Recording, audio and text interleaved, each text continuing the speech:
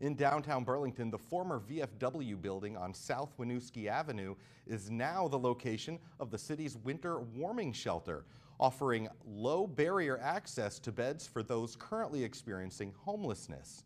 Sarah Russell is the city's special assistant to end homelessness.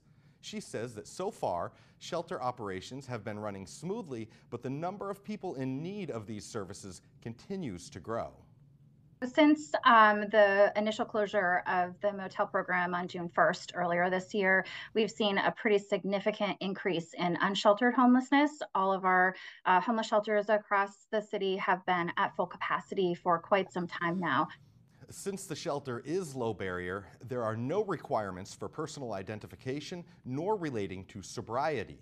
The winter warming shelter will continue to serve guests until its planned closure this upcoming March 15th.